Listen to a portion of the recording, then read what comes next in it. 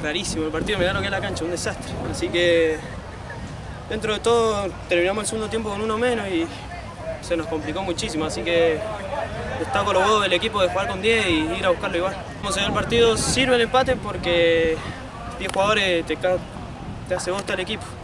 Así que bueno, tampoco es matar al que expulsaron, sino había que apoyarlo y bueno, mucho huevo del equipo. Estamos bien, igual no hemos perdido, venimos acá a tratar de ganar y, y bueno, y vamos con, con todo la semana que viene. Esto es un empate nada. Tengo buenas expectativas para el torneo porque se ve un lindo equipo, un lindo grupo y hay que disfrutar.